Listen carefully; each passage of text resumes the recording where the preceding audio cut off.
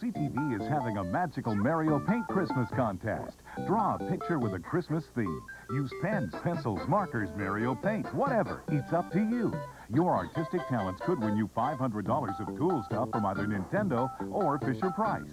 The winning entries will be shown on CTV during our animated holiday specials, so all of Canada can see your masterpiece. Watch for details in the holiday season guide arriving soon in the mail. So start drawing and send them in.